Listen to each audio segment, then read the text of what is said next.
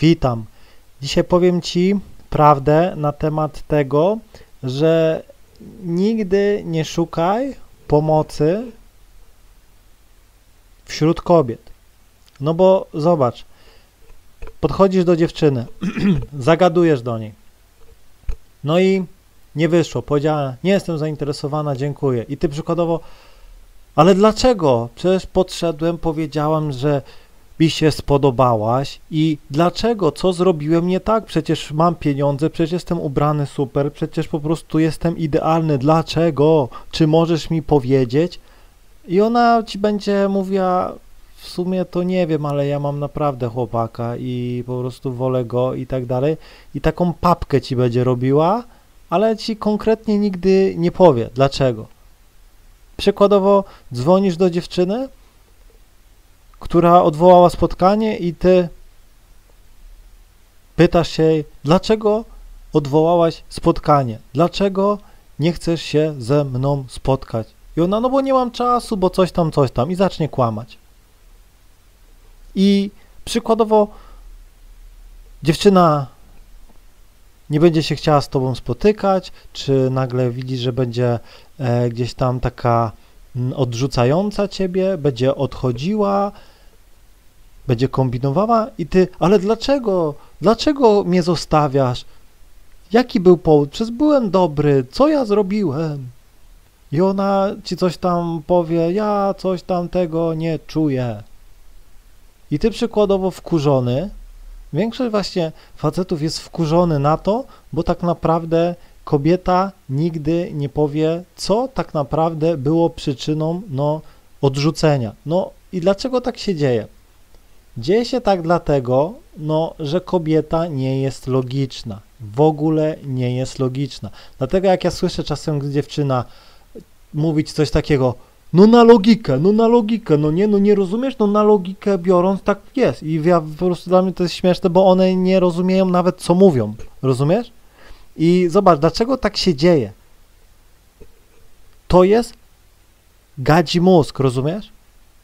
Kobieta nie kieruje się nigdy logiką przy wyborze, przy podejmowaniu decyzji. Mają na to wpływ bodźce. Rozumiesz? Bodźce. Bodźce. To tak jakbyś przykładowo poszedł na jakiś stand-up, gościu coś mówi i ty wybuchasz śmiechem, a obok ktoś cię pyta, no ale dlaczego się śmiejesz? No ale dlaczego się śmiejesz? No i ty powiesz, no bo to było śmieszne. Ale co było śmieszne? Przecież on jeszcze się nawet nie odezwał. Dlaczego się śmiejesz? To nie jest śmieszne. O co ci chodzi? Dlaczego? Co ja mam zrobić, żebyś się przykładowo śmiała i tak dalej? Rozumiesz? I tak mniej więcej większość osób zadaje pytania. No po prostu osoba może coś zrobiła śmiesznego, może po prostu e, potknęła się czy coś takiego, no nie. No my faceci zazwyczaj no gdzieś tam potrafimy do pewnych konstrukcji dojść. Dlatego faceci stworzyli telefony, dlatego faceci stworzyli e, samochody i tak dalej, tak, bo widzisz, my potrafimy do rzeczy dochodzić. Tutaj metoda prób i błędów. Kobiety tak nie potrafią. Zobacz, kobieta nie może być tak skonstruowana, no bo rodzi jej się dziecko i to dziecko nie mówi. I tutaj widzisz, faceci by mieli problem, bo co? Jak on może się zapytać, co potrzeba dziecku, skoro ono nie mówi? Ono cały czas płacze, a kobieta potrafi rozpoznać z 20 typów płaczu. Dla faceta płacz jak płacz, no nie, a dla ciebie, nie, nie, ten jest taki mocniejszy, ten jest taki tego, ten, ten to oznacza, że jest głodny, nie, ten oznacza, że po prostu, że chce spać, ten oznacza, że się nie wyspał, no nie? Kobieta zawsze kieruje się bodźcami. Bodźcami. Więc jeśli przykładowo ty nie wywołałeś w niej pewnych bodźców, albo te bodźce były negatywne, albo osoby z zewnątrz na temat ciebie wywołały w tej dziewczynie negatywne bodźce, to ona jest na ciebie zablokowana, rozumiesz? Przykładowo zagadujesz do dziewczyny Wszystko jest super. I ona wraca do domu, dzwoni do koleżanki, stara, zagadał do mnie chłopak. I tak dalej. No, no, ty, to jest podrywacz, no nie, uważaj, nie, nie, ja bym po prostu nie, ja po prostu, nie, ja bym tego nie zrobiła, ale zrób jak uważasz, ale ja bym tego nie zrobiła i radziłabym tobie, żebyś też tego nie robiła, usuń, nie dawaj, nie dzwoń i tak dalej, ja też bym tak zrobiła, ale decyzja ostateczna yy, zależy od ciebie, ale ja bym tak nie zrobiła, ale na twoim miejscu ty też byś tak nie zrobiła. Rozumiesz? I tak mniej więcej wyglądają rozmowy z pańkami, że zawsze, jakby to powiedzieć, kobieta nie potrafi podjąć sama decyzji, tylko ktoś za nią podejmuje decyzję. Więc jeśli koleżanka sprawiła, że o, twoja osoba w jej oczach, no, zyskała taką wiarygodność czy coś i ona naprawdę od ciebie nie odebrała czy coś, to znaczy, że słabo nakręciłeś tą dziewczynę, rozumiesz? Słabo ją nakręciłeś. Bo czasem jest tak, że dziewczyna przykładowo ma własny rozum, no nie? Ty ją fajnie gdzieś tam rozśmieszyłeś, wystymulowałeś, no nie? Wraca uśmiechnięta i tak dalej.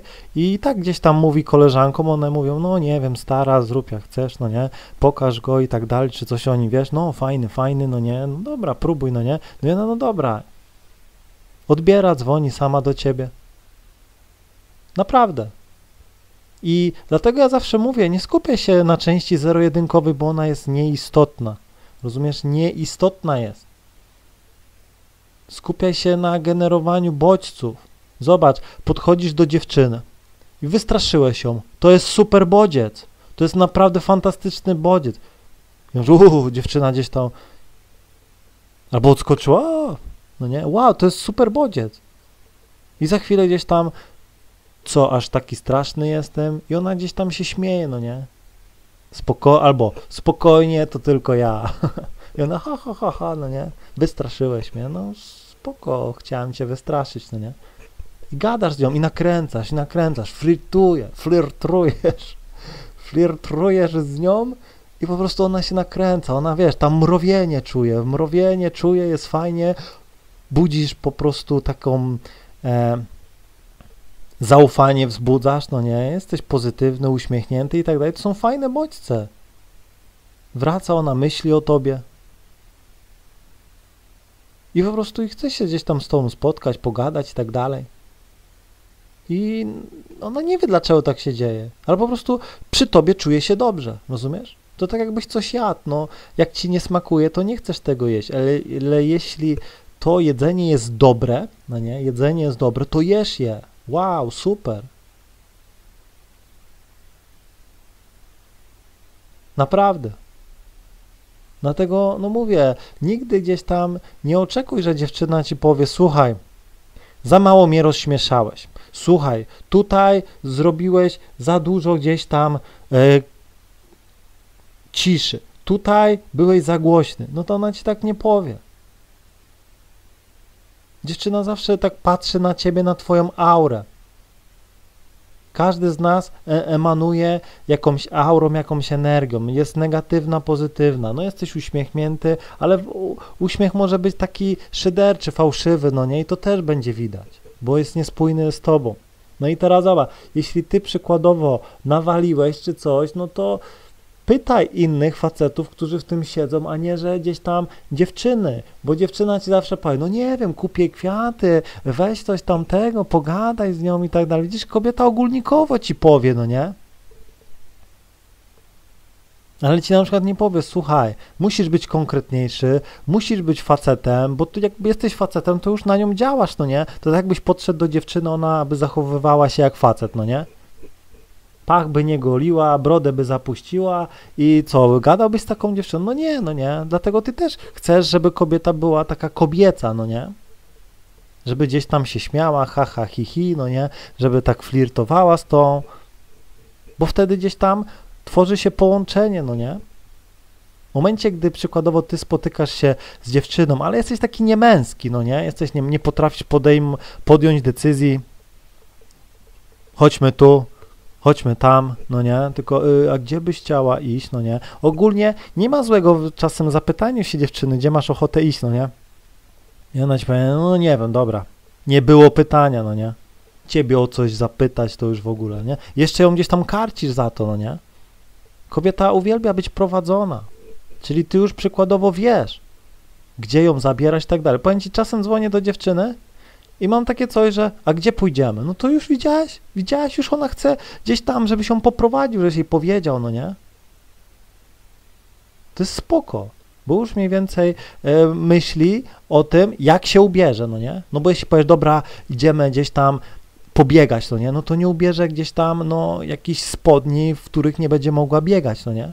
Tylko ubierze przykładowo dres i okej, okay, no nie? Idziemy na rowery, no spoko, no to nie będzie ubierała gdzieś tam jakiś e, obścisłych tych, gdzie nie będzie mogła się ruszać, no nie, tylko ubierze tak bardziej coś luźnego, no nie, dlatego no dziewczyna pyta, no powie ci, dobra, idziemy gdzieś tam na bankiet, no to ubierze jakąś sukienkę i tak dalej, no nie, no to jest normalne pytanie. Czyli ty robisz akcję, a ona reakcję, no nie? Dlatego, no mówię, nie miej nigdy o to pretensji, bo ten, co stworzył kobietę, specjalnie tak zrobił, żeby po prostu faceci, jakby to powiedzieć, wykazywali się swoją inteligencją, bo inteligencja, no jest oznaką, no takiego mm, dobra, no nie, no bo bycie głupim, no to jest takie, no wiesz, głupi, no nie, to, to nie jest dobre. Dlatego, no, jakby to powiedzieć, no, facet musi wykazywać się inteligencją i tak dalej, bo dzięki temu, no, dziewczyna widzi, że aha, potrafisz ją czytać, no nie? Zadzwoniłeś do dziewczyny raz, nie odzwoniła, nie odpisała, a nic, no to czytasz ją, aha, nie jest zainteresowana. Bum! I ją to też gdzieś tam czasem e, nakręca na to, że wow, zrozumiał, fajnie. I pomimo tego, że nigdy do ciebie gdzieś tam już się więcej e, nie odezwie i tak dalej, no to jak ciebie gdzieś tam zobaczy, to będzie wow, fajnie. No nie, że zrozumiałeś. Spoko, szacun. I będzie po prostu, jakby to będzie miało tobą pozytywną opinię, no nie? Pozytywne wrażenie. I nawet jeśli gdzieś tam będziecie stali obok siebie, gdzieś tam przy kasie, no to ci powie cześć, no nie, co tam pogadacie, rozumiesz? Ostatnie wrażenie. I często jest tak, że to ostatnie wrażenie sprawia, no, że jak widzisz następnym razem tą dziewczynę, no to ona z tobą coś tam może więcej zrobić. Tak samo zobacz, no, podchodzisz do dziewczyny, no ale już masz tak swój wiek, no nie, podchodzisz do jakiejś nastolatki, no ale wyglądasz jak taki tatuś, no nie, no i ona ci nie powie, że mm, jesteś dla mnie za stary, no nie, no bo ona może nie chce cię urazić i tak dalej, no nie to powie nie, nie jestem zainteresowana i wiesz o co chodzi. No, jej odczucia będą takie, że no, widzi w tobie takiego tatusia, no nie? Może być tak, że podejdziesz do dziewczyny, która będzie w twoim wieku, ale ty będziesz wyglądał jak taki gówniarz, no nie? No i podejdziesz do niej i ona powie, że nie, nie jestem zainteresowana, no bo wyglądasz jak taki, wiesz, gówniarz, no nie? Koper pod nosem, i po prostu i no, widzi, że nie, nie dojrzałeś jeszcze, no nie? I o to chodzi, ale nie chce ona cię gdzieś tam urażać, że nie, słuchaj, wyglądasz jak dziecko, no ja już jestem taka dojrzała i po prostu e, no, dziwnie to będzie wyglądało. No, no niby jesteśmy w tym samym wieku, ale e, jednak no, ty wyglądasz bardzo tak dziecinnie i tak dalej, ubierasz się dziecinnie i tak dalej, no i no nie, no dziewczyna ci tak nie powie, bo zobacz, dziewczyna też nie chce cię urazić, ona ma też grany taki program, no że dziewczyna powiem ci nie chce cię urazić, no nie, nie chce cię jakby to powiedzieć dołować, no podejdziesz czy coś i ona ci tak powie, o dziękuję, nie jestem zainteresowana i tak dalej, i tak dalej, no okej, okay, to no i widzisz, dzięki temu możesz lecieć dalej, no nie? Lecisz dalej, no nie? Wyobraź sobie teraz, że podchodzisz do każdej dziewczyny, no nie, i ona ci mówi, słuchaj, ty masz 1,80 m, a ja szukam faceta z minimum 1,85 m. Ty masz czarne włosy, ja lubię rudych, no nie? Słuchaj, no jesteś chudy, a ja lubię grubych, no nie? I po prostu, i gdyby ci tak dziewczyna mówiła, no to to by było takie trochę, no bez sensu, no nie? Jaki byłby to sens? No okej, okay, powiedziała ci o tym i co to zmieni? I co, będziesz nagle na rudy kolor przefarbował i będziesz gdzieś tam jadł dużo i co, będziesz, nie wiem, buty jakieś z obcasem kupował, żeby mieć te 85 No nie, dlatego widzisz, nie ma sensu, żeby dziewczyna ci przykładowo mówiła, co zrobiłeś nie tak, no nie? No bo to jest zbędne, strata czasu. No i teraz zobacz, e, po to jest tyle dziewczyn, na jednego, dziew, na jednego faceta przypada dużo, dużo więcej dziewczyn, no nie? Dziewczyn jest o jakieś trzy razy albo więcej, więcej niż facetów na świecie, no nie? Także powinieneś patrzeć w tym kierunku, że jeśli przykładowo jakaś dziewczyna nie wyszło ci, to traktuj to jako doświadczenie, idź do następnej, rozumiesz? I z następną już nie popełniaj tych błędów. Właśnie po to e, uczysz się gdzieś tam podrywać, uwodzić i tak dalej, żeby po prostu nabywać to doświadczenie, rozumiesz? Pierwsze kroki zagadujesz, ok. No, nie udało się wyciągnąć numeru, nic się nie stało, zobacz, po drugiej stronie dojdzie już następna Zagadujesz, dobra, zacznę teraz tak, no tutaj tego. I okej, okay, jest już numer, jest numer, dobra, ale żeby gdzieś tam e, nie było, to jeszcze sobie jeden numer wezmę, bo może nie odebra, bo już wiesz, kierujesz się doświadczeniem. I dzwonisz, nie odbiera, spoko, ale mam drugi numer, dzwonię, o, odebrała, no nie, no ale jeszcze to nic nie znaczy, bo może odwołać, no nie, więc ja sobie pójdę jeszcze gdzieś tam, m, mm, poznam ze dwie, no nie, żeby mieć tą pewność, no nie, no i dobra, dzwonisz i tą przykładowo sobie na następny dzień ustawiasz i w razie jak ta odwoła, no to przykładowo masz na następny dzień następną dziewczyną, nie? I nie zastanawiasz się, nie pytasz się, tylko po prostu wkręcasz się, rozumiesz? I lecisz, działasz. Jesteś nastawiony na działanie, a nie na myślenie. Bo myślenie tak naprawdę ciebie spowalnia. I teraz zobacz, no, jeśli każda dziewczyna by ci dawała wykład, co powinieneś poprawić i tak dalej, no to strata czasu. No ale co to zmieni? No co to zmieni? Pójdę do innej dziewczyny, może to, co ty mówisz, na inną nie będzie działało, no nie? No też trzeba to brać pod uwagę.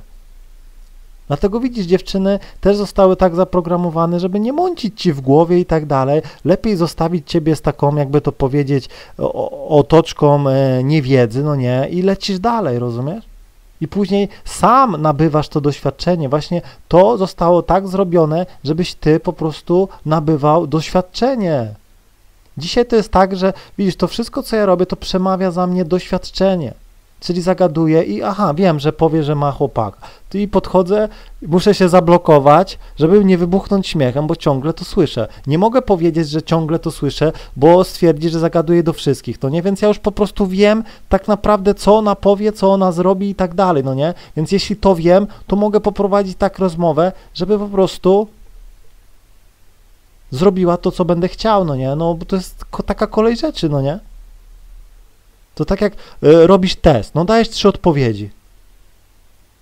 Dajesz trzy odpowiedzi i wiesz, że ktoś za, zaznaczy którąś, no nie? I nie ma innej opcji. I nie ma innej opcji. Nie pojawi się czwarta odpowiedź. Więc po co ja mam na przykład e, mówić komuś i tak dalej? No po prostu nie nauczyłeś się i tyle musisz poczytać i tak dalej. Tak samo jest z dziewczynami. Zagadujesz, no nie wyszło, no to doucz się, idź do następnej, doucz się, doucz się. Rozumiesz? Każde podejście traktuj jako po prostu lekcję. Każdą nieudaną gdzieś tam próbę traktuj jako lekcję. Właśnie to nas odróżnia od kobiet, że my właśnie jesteśmy inteligentni. My potrafimy łączyć fakty i tak dalej, poprawiać. To jest właśnie nasza inteligencja. Że zobacz, dobra, poszedłem na spotkanie, mm, no, nie, nie, nie wziąłem gum, no nie? Nie wziąłem gum, no i przez to nie dała się pocałować. No i to, aha, no to na następne spotkanie wezmę gumy, no nie? No i wziąłem gumy i tak dalej, no i wszedł ten pocałunek. I widzisz, u mnie wszystkie gdzieś tam zachowania są spowodowane, no jakby nie patrzeć, no tym tymi porażkami, no nie? No, siedzę na spotkaniu, nie, nie dobieram się do dziewczyny. Siedzę, siedzę. Ja, no i na przykład, dobra, no to na drugim ją pocałuję. No dobra, no na drugim, bo teraz nie wiem, nie wiem dlaczego, nie mogę. No i dzwonisz, a ona nie chce przyjść na drugie spotkanie. No i przykładowo później znowu masz y, dziewczynę i znowu gdzieś tam, dobra, pocałują na drugim spotkaniu. No i przykładowo znowu nie przychodzi, no nie? I myślisz sobie, aha, Czyli muszę pocałować ją na pierwszym spotkaniu. Zobaczymy, co się wydarzy.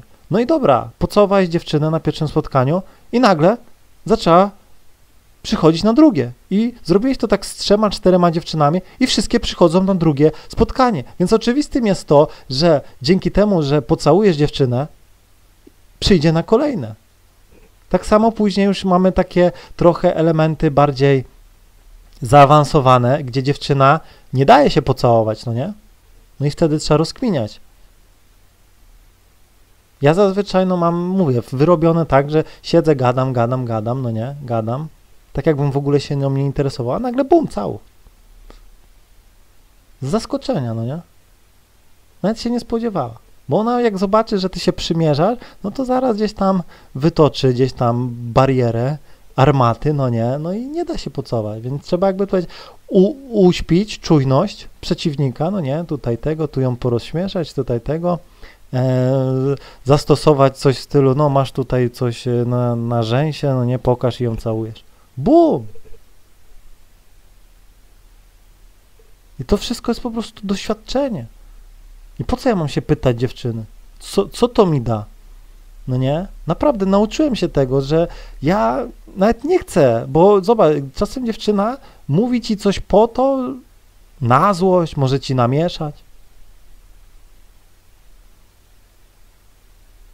Dziewczyna ci powie, że jej się te perfumy nie podobają. Aha, spoko, fajnie, ale mi się podobają, no nie?